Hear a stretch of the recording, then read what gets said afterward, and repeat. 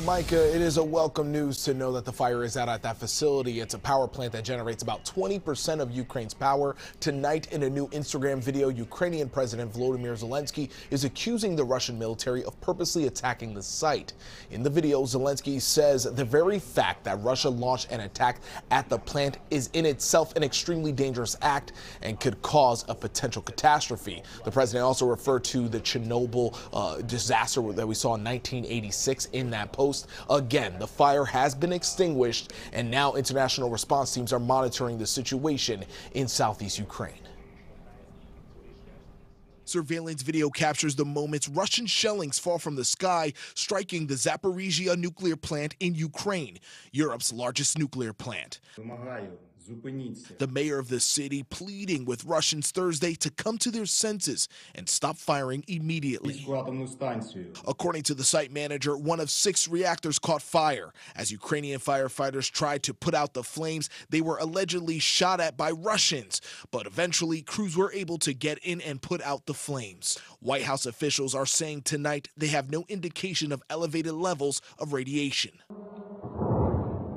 Battles continue to brew in key cities like Kharkiv as Russia looks to gain control. This is the historical building in the center of Kharkiv, which was under heavy bombardment yesterday.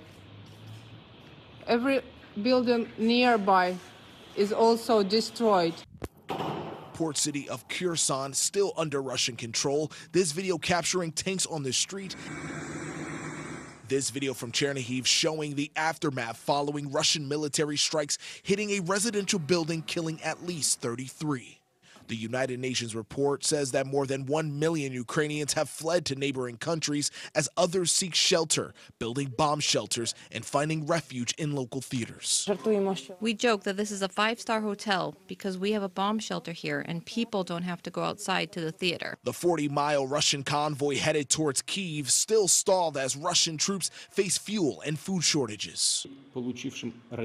Despite the setback and Ukrainian resistance, Russian President Vladimir Putin on state television said Thursday the special military mission in Ukraine is going according to plan. I want to say that the special military operation is going strictly in accordance with the schedule according to the plan.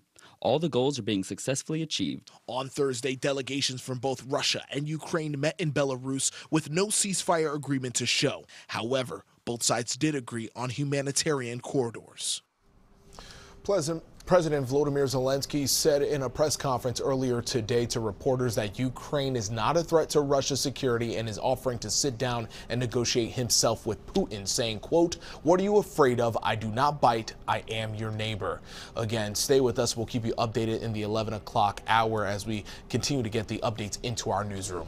Reporting live in the newsroom, Pedro Rivera, KTLA 5 News. Pedro.